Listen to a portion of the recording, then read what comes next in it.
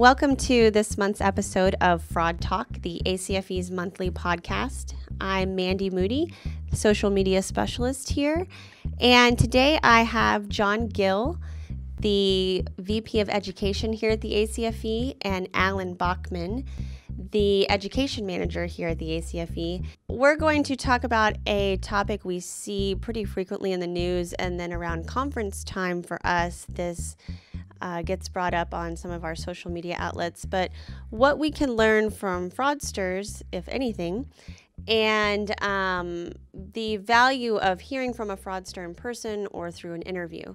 So let's start with you, John. You have taught for the ACFE for many years and have heard many fraudsters speak over the course of that time. What do you think is the value in hearing a fraudster speak about his crime firsthand versus reading a case file or a court report or reading a news story? Well, Mandy, first, thank you for having me. And this is a good topic, and it is uh, especially important around annual conference time. And we do, there is some controversy about allowing fraudsters to speak, either on camera or at live events. But I've talked, done several interviews with fraudsters, and after sitting and talking to them, I believe that that is the only way to really understand what happened in any particular case. You can read the case file, you can read the news reports, but they always start and stop. Well, here's here are just the facts. Here's what happened. They, you know, stole fifty thousand dollars. They were doing a you know check tampering scheme, or they stole cash, or it was a false billing scheme. Uh, they were caught by a tip from somebody within the company. They confessed, they pleaded guilty, and they got two years in prison. And that's really all that you know about it. But to me, what's more interesting is trying to understand well, what motivated this person to do this in the first place? Why did these people, who in all other respects are law-abiding citizens, they pay their taxes, uh, they obey all the other rules and laws, why did they go so far as to steal from their employer?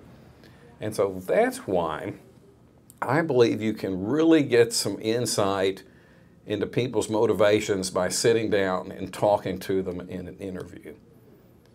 Also, using the if people watch the interviews that we do, they can get a better understanding of the motivations, and I think that helps them when they're doing uh, admission seeking interviews with the actual suspect. Because if you can't develop some type of rapport with them, if you can't kind of figure out what might have been motivating them, what were the things that led them to do this, then I just don't think you can, you're as effective in getting a confession. So if you can sit down and talk to these people, it makes a lot of sense. And here's another example I thought was very interesting because I had read um, a lot about Mark Whitacre. He was the fraudster who was involved with the Archer Daniels Midland fraud. I had met him at a continuing legal education seminar and invited him to come and speak. And so I, before when we did a video interview with him, and beforehand, I read all this information and I thought I knew the case pretty well. But there, were, there was one question I really never did understand because the, the, most of the movie, the informant is talking about him wearing a wire to record conversations for the FBI as part of a price fixing investigation. So he wore a wire and worked with the FBI for two, uh, two and a half years. But while this was going on, he was engaging in his own scheme. I think it was a phony billing scheme where he stole what they think was over $9 million from ADM.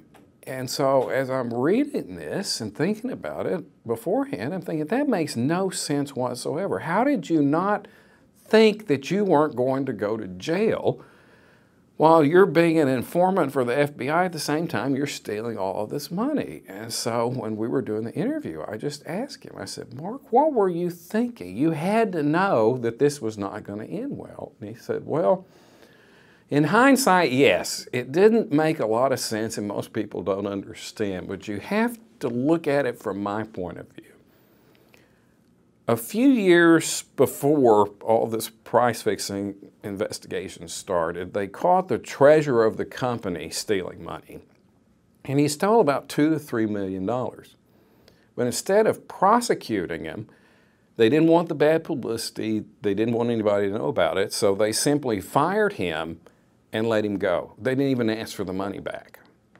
So he said, I'm thinking you know, here I am in a similar position. I'm president of the company, and if I'm stealing this money, they're not going to want the bad publicity, so they're probably just going to fire me, but I'll get to keep the money because I know I'm going to lose my job one way or another, and at least if I'm able to, you know, safeguard this $9 million, my family will have something to live on if I lose my job. And he said, that's what was going on in my head. Now, in retrospect, he says, that probably wasn't a good plan, but on some level, trying to get in his head, it did make some sense. They had a history of just, let's fire them, we don't want the money back, let's just, you know, hush it up. And he's thinking the same thing, even though you know he's wearing a wire and he's stealing money from the company. He's thinking, well, he'll still keep keep the money if if they find him out, and that's something that you could never quite understand by reading any of the reports because that's something that only he could explain. Talking to the fraudsters really helps the fraud examiner understand the emotions, the, the twisted logic that they go through in deciding to take the money in the first place, and then also what they go through in concealing it. So that kind of goes into um, my next question for you, Allan. You know, for CFEs, fraud investigators that are in the audience or on the other side of the screen watching these interviews, as a fraud examiner, what are you looking for? You know, when you when you're hearing a fraudster tell his or her story, what um, are there any characteristics that are similar? When you know, last year when we all sat there and heard Andrew Fastow from Enron or the year before Mark Whitacre. What what are you looking for when they're speaking? Well, I take two approaches uh, to this. One is the approach I take when I talked to fraudsters in the past as a fraud examiner was I'm not really interested in your motivation. We already know you did it the ju- judicial system or civil uh, process will take over from here. If you have something you want to say to me about this and, and explain your motivation, I'm willing to listen to it.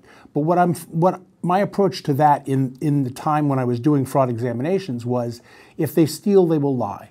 They will they will justify, justify, justify. The other side of that, the role I have now as education manager, now we have a chance to basically look backwards through the telescope we get a chance to look at this uh, fraud in hindsight. We get to ask these, uh, these people who have perpetrated their crime, who have done their penalties, who have gone to jail, paid restitution, or are still paying restitution, to tell us the story. And the story we're looking for, and this is what we get from our interviews with fraudsters, and this is what we get at our conferences. The story we get from the fraudster is, as much as we can get, the unvarnished truth. Now, we're not, we don't have a problem at all if they come out there and lie through their teeth because the, our audience is composed of people who can tell that this is this is a whitewash. And we've had fraudsters who've come out there and kind of glossed over some of their crimes. Uh, you almost want to prompt them and remind them, what about this other time? But what the people are in the our audience are hearing is a good example of how I did it, why I did it, how I got away with it, how I almost got caught. These are the types of things we ask them to talk about. And what happened when I got caught. The relief, finally, I've been caught. Um, I think one of the best explanations I've ever heard from a fraudster that I've spoken to personally was I don't know what I was thinking. No excuse, no justification, no family crisis, no drama of any kind. I just don't know what I was thinking. I took the money. Uh, and I kept taking it, and I kept spending it. But I, I don't have any excuse. And that, that was probably one of the most interesting answers I've ever heard because, as I said, when I was a fraud examiner, a lot of the fraudsters would be like, Well, I've got this drama, I've got this crisis, uh, I've got this other thing going on, and I need to, I'm, I'm going to make it right. I they have lots of excuses and lots of explanations. And they haven't really had a chance to reflect on really what they've done. The fraudsters we bring into our conference, some high level, some very low level, have their unique story to tell, and they've had time to kind of reconcile themselves to it. We're not going to put words in your mouth, but these, these are your words. And that educational component for our attendees is unmatched because people will, you will be able to tell what they're saying, how they're saying it, what they did. Was there something special here that we need to pay attention to? And that benefit can't be uh, uh underestimated. So, as you both know, and Allan, you um, actually are in charge of finding these people, but every year at our ACFE Global Fraud Conference, we hear from a convicted fraudster during the closing keynote address. Um, we get mixed reviews about this. So, why do you think this is such a controversial topic? In the last couple of years, we've had a lot of controversy. We had Andrew Fastow last year, and we um, we I kind of monitored all the pushback that we got on that on our website, in our discussion forums, and on LinkedIn and a couple of other places.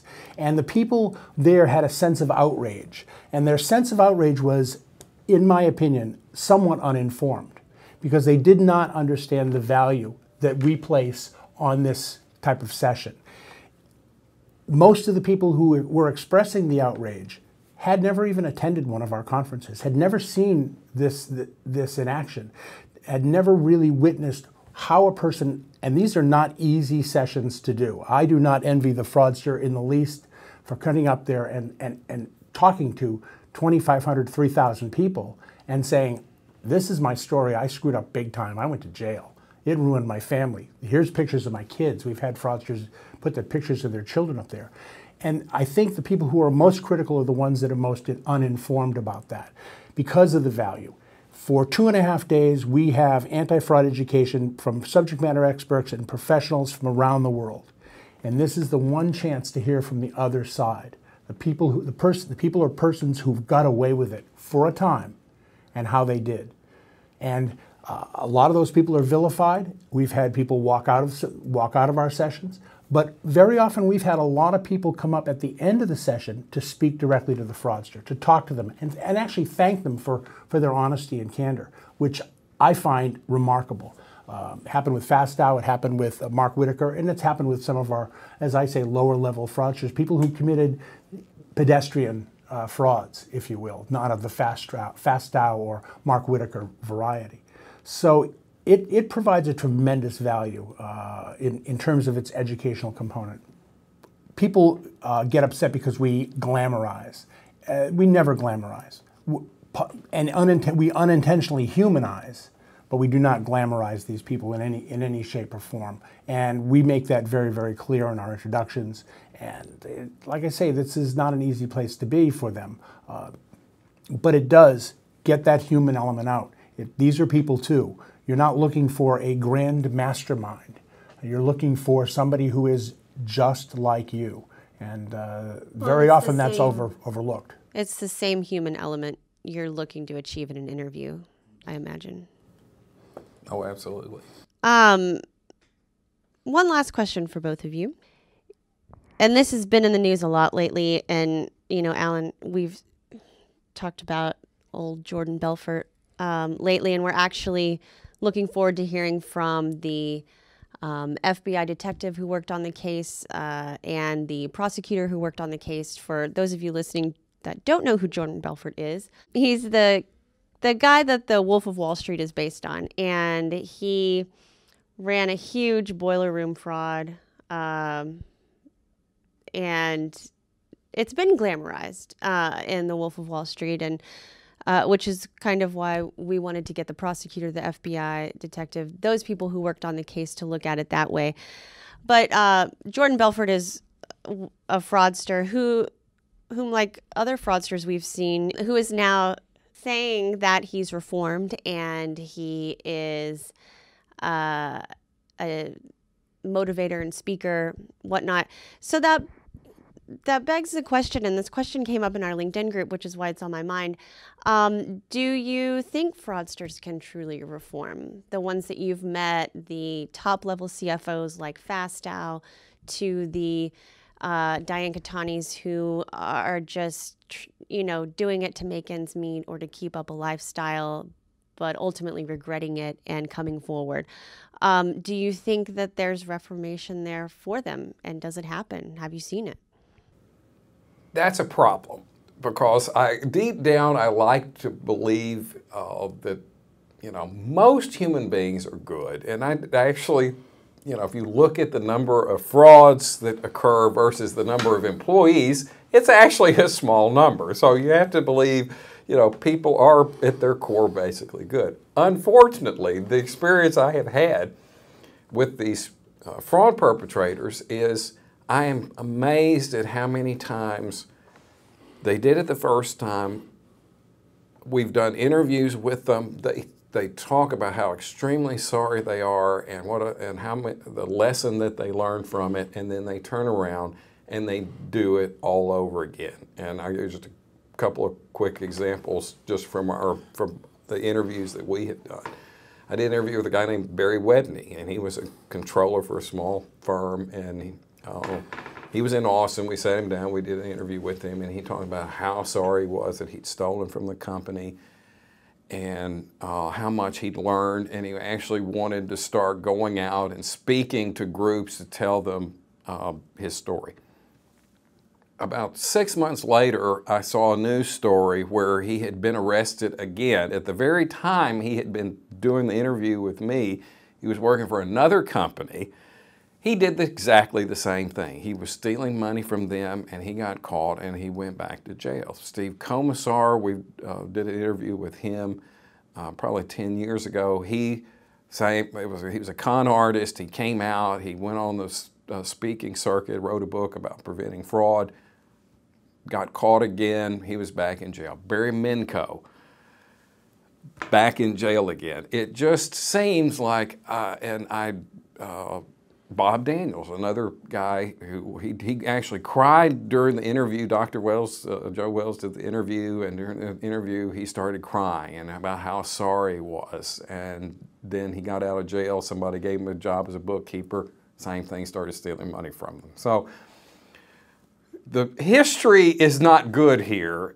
and I'm not a psychologist. I wish I knew, understood more about if you really do seem sorry about it, why do you keep going? The closest I can get is uh, a lot of times when we do these interviews, the people say that they got addicted to what they were doing. I think they got addicted to the thrill, they got addicted to having extra money, being able to spend it, and so I think, you know, just like a drug addict, you do it the first time you know that it's bad and you don't want to do it again, but you just have this overwhelming craving to do it. And that's about the best explanation I can have. But that's again something that is, when you talk to these people, you start to pick up signs that help explain some of this. It's like as, as they're telling you about what they did, they said, well, I, even when the financial crisis was over, they kept doing it anyway because they kind of got addicted to it.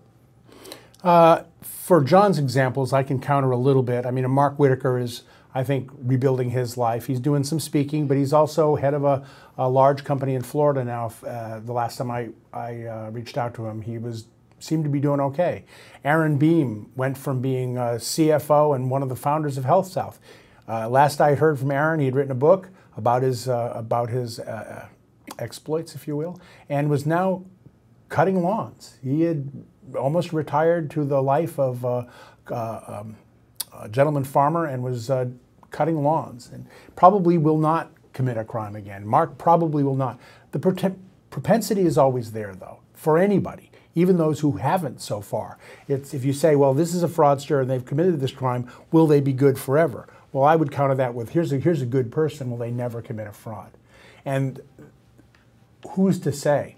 Uh, I try to give everybody the benefit of the doubt, but there's some very obvious ones that, oh no, it's only a matter of time before they transgress again. We see them all the time.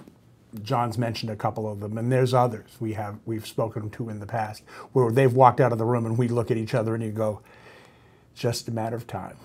Uh, but who's to say? And uh, you know, there's gonna, there's more out there we can't wait to talk to because they've got they've got great stories about how they did what they did, and some of them do end up crossing the line again. Wonderful. Well, thank you both, John and Allan. Um, it's a truly interesting topic. I mean, we could talk about this forever, and I know on LinkedIn they they could go for months on a topic like this. Um, and we hope to see all of you listening at our annual conference this year, um, and we will have another fraudster lined up. But we'll also have, you know, for every one fraudster, there's thousands of fraud examiners at the conference. So uh, there's always more of us than them. Um, so thank you both, and thank you for listening to this month's episode of Fraud Talk. You can find all of our Fraud Talk episodes at acfe.com slash podcast. And we will see you next month.